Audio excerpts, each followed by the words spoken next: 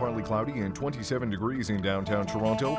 Canadians from coast to coast to coast will head to the polls in this country's The campaign will be 11 weeks long. Canadians go to the polls October 19th. Canadians will make a serious choice between proven real world experience. On a Sunday morning deep in the languid days of summer, when Canadians are least likely to engage in politics or even notice the news, Stephen Harper launched the longest election campaign in modern Canadian history. The longer the campaign, the more money it costs. And Harper knows his party has more money than the others. No wonder nearly two in three Canadians say the only thing politicians want from them is their vote. Is politics broken? You betcha it is. People don't even come out to vote anymore. The politicians really need to stop, say a lot less, and listen a lot more. Is politics broken? Instead of focusing on which politician is going to win or lose, we should be focusing on the issues. People are cynical about it, participation rates are very low. So, of course, it's broken. When people don't have faith in a system that is designed to give them power, something's not working. Dave Meslin's despairing analysis disguises the fact he's actually a sunny optimist. He believes there are plenty of us, ready, willing, and able, to embrace a more active political life, but our political culture discourages it. And he sees an unintended metaphor in the asymmetry of Toronto's City Hall towers. Inadvertently, it was designed in a way where you got these two towers and all the windows are just facing each other. So you've got hundreds of bureaucrats only looking at each other, not looking out of the city. But sadly, I think that's how people actually view politics right now. That no one's listening to us. They don't know where their entry point is to insert themselves into the process. Yeah, it's like they're... Some of the most obvious problems also have obvious solutions. What private sector business, for instance, would ever talk to its customers like this? This is allegedly a public notice that the government puts in newspapers to let us know what's happening. No one's ever going to read this, and if they did, they wouldn't understand it. Yeah. So when companies advertise to us, they use a lot of color and vibrancy because they really want to get our attention. Yeah. So imagine if like Nike, for example, wanted to advertise and they did it the same way. This is like if, if, if City Hall were running Nike, this is what it Right. should say. Yeah, it would look like this. And of course, you've never seen an ad like this in your life, and you never will. Yeah. What we really would see from a city that cared about our opinion would be something like this. That's a public notice that has a before and after picture. It says, "Have your say. Come to the meeting. Visit us. Call us." It's it's it's giving you all the information clearly It and wants to be read. actively encouraging you to participate. It, wants, to be, read. Yeah. Yeah. Meslin's no casual observer of day to day politics. He's currently traveling Canada and the US in search of a hundred remedies for a broken democracy. Acknowledging that politics is broken is not a declaration of defeat or failure. He was part of CBC's debate, Is Politics Broken? earlier this year, and he argued for the yes side. That is, yes, it's broken all right. Into something positive. Meslin's disenchantment with the status quo was not the end of his thinking about it. We brought him back to the CBC atrium to get a better sense of why he's still a glass half full guy. Everyone wants the world to be better than it is. For some reason, a small handful of us actually actively participate in that process every day. And what I've been trying to figure out through my work is why is that? Why is it that most people don't act on their instincts? Um, that the world could be better? And if we can figure out why they're not participating and then change the environment around them to make it more conducive to engagement, I think we could have a really different kind of politics and democracy where people we can transform people's cynicism into action and that would be better for everyone Deep drive to center. Ghost is on the run. And This is what engagement looks like. The players are in control, but in the stands are thousands of people who believe they have a stake in the outcome. They understand the issues, are well informed about the options, offer advice and feedback to the players, and hold their team, its manager, and owners accountable for results.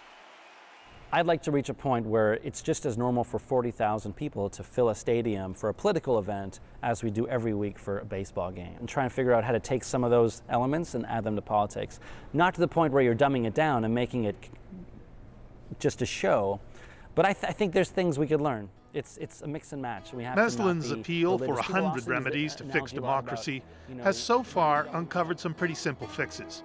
More civics in school, weekend election dates, voting reform, as in get rid of our first past the post system that allows candidates to be elected even when most people vote against them. And CBC is projecting that the next government of Alberta Canada's most conservative province will be a new Democrat government. My friends, the NDP. My name is Rachel Notley, and I want to thank you for electing me as your premier. Democracy can be resurrected from the dead. We saw just such a miracle in Alberta this year. We came to Calgary to see whether the stunning change in government meant that democracy was really on the rebound here. Was there something happening that maybe began with the election of the city's wildly popular youngest celebrity mayor, Naheed Nenshi? Apparently not. Is politics broken? I think so. I think uh, some of the major political pa parties have lost touch with uh, decision makers like me. I believe we should have a system based on proportional representation where votes are distributed more accurately across the country. Something that I think that politics could use more of is transparency. I think that if the public knew more, then they would feel more empowered and feel like they could make better decisions. Stephen Carter was the engineer behind Naheed Nenshi's explosive entrance into Calgary politics and national recognition. And he was the key to Alison Redford's surprising capture of the Premier's office totally did it from outside. Yeah. I brought in a totally different group of voters. So he knows a thing or two about what makes the 21st century voter tick. Yet he does not have lightning in a bottle, nor does he share Dave Meslin's views about earnest voters and their keen desire to engage in the process. On the contrary. Let me foundationally start with if you had a better electorate, I mean, this brings the Winston Churchill quote, right? I mean, the best argument against democracy is five minutes with the average voter. I mean, I'm going to get nothing but trouble for that. But it is so true. So, you know, in the case of Alberta and the Notley election, there are a lot of reasons why people might think that's a very encouraging sign. That the province has taken back control of its politics, that it has real competition in politics, that it's got rid of a potentate. And you're saying that's not true? I'm saying that the there was a choice made a choice was made to go in a new direction. But it could have just as easily been the Wild Rose as it was the New Democrats. Of course, the NDP supporters are saying this is a validation of our policies. Except if you were to ask a voter why they voted for the NDP on that particular day, if we had old style exit polling, you would find, and I, I did my informal one, people weren't voting for the NDP, they were voting against the progressive conservatives. And that's so fundamentally different. Do you mind if I point out that you know I came into this conversation thinking that the guy who was behind Nenshi and, and Alison Redford and, and seems to be supportive of progressive change in Alberta is nevertheless a bit cynical about how that happens. Oh, I'm tremendously cynical. I am the most of the cynical. People always said that Nenshi was the smartest candidate. And he had these great big ideas. And then you'd say, well, okay, great. How many people do you think read the big ideas? How many people do you think read beyond the, the, the six word headline? right? It was less than 2% of the population that visited the website. So we had 130,000 people visit the website. Of those, 2% actually went and read the policies, stayed on the policy page for longer than five seconds. Five seconds. Right. And uh, I mean, we still got 144,000 votes. So there were even people who'd never understood what his issues were, who voted for him, who thought he was the smartest candidate. That became the mob. The mob said he's the smartest candidate with absolutely no evidence that they themselves had. They took other people's word for it. They took the, the general direction from the rest of the mob. It's almost like you're saying we need a better electorate. Absolutely. We can go and we could ask somebody about healthcare policy or what drives healthcare policy, why we're making the decisions that we're making, but all we have is perverse incentive, right? No one wants a healthcare system that keeps you well. They all want a healthcare system that keeps you from dying. I'm watching a guy eat a pogo over there, bacon on a stick, right? I mean, he's, you know, dude, you're not helping the healthcare system. But that's, you know, he doesn't want us to stop him from eating a pogo. He loves pogos, right? Bacon on a stick's what he wants. And then when he gets sick, he wants the healthcare system to step in and help him. No, we should have stopped you from eating the pogo. Uh, they, they don't care.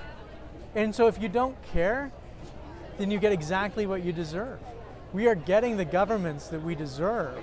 I think we've actually developed a really cynical view of the masses. And I think that's really um, sad because I think we actually, as individuals and collectively, have so much potential, which shows that it almost doesn't matter who's in power. Whoever's in power will always respond to public opinion. And there's kind of goalposts on any issue of where the politicians can flip back and forth, and they're often pretty narrow. Change doesn't happen when the politicians move within the goalposts.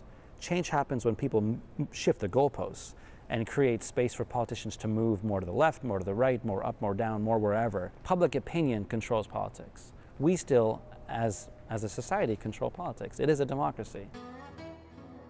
Politics is happening around us all the time, and people do shape it. What brought these people out was anger with the Toronto police practice of carding.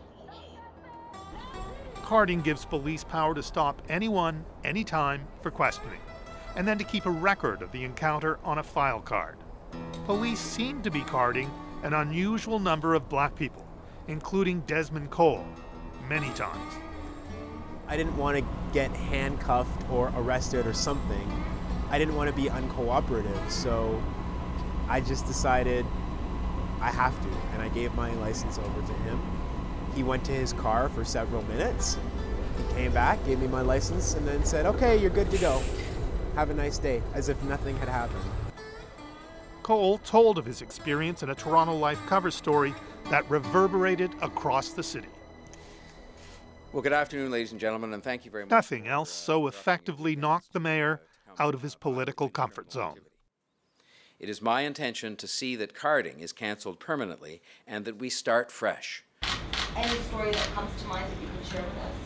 My conversation with Desmond Cole, you know, I'd read his article and I sat down with him for an hour and a half or longer and, and just listened to him talk about his lived experience. The fact he's been able to push against a policy he feels threatened him says something about the health of our politics. Or does it? And I try to remain optimistic that we can fight for change and we can do so successfully in partnership with people in political office.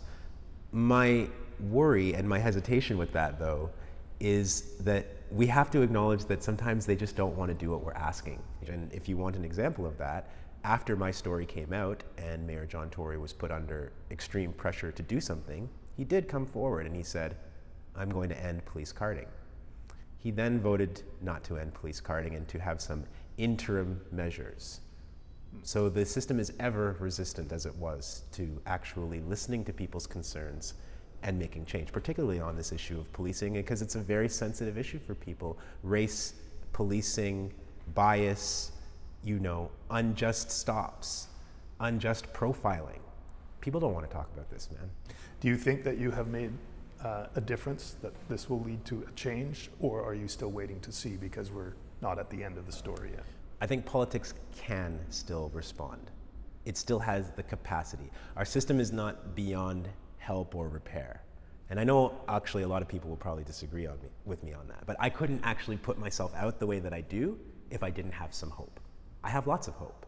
When people suggest that politics is broken, what that means for me is that politics is only good at responding to some people. When you go into debt to get an education and then you can't find work, when you feel that you're discriminated against in your community but there's no recourse, that's a person who's going to say the system is broken, the system's not working for me. So I think we should think about who politics might be serving and who it might be leaving behind rather than just saying it completely works or it's completely broken. Three of the candidates for Prime Minister were in Ontario today, doing all they could to steal votes from one another. As conservatives, we believe that there is no higher calling than raising. I believe in cooperative, collaborative leadership, and that means working what with we're the proposing is to put more money into selling Canada as a tourist destination. From our bird's eye view of the political culture, we saw clearly that our politics could work better for us. What else? Well, that our politicians and our governments could do more to engage with us, for sure. But what else? Well, maybe that the fault is not entirely with them, but with us too. We're all responsible for the state of our politics and how to improve it. Keith Boag, CBC News, Toronto.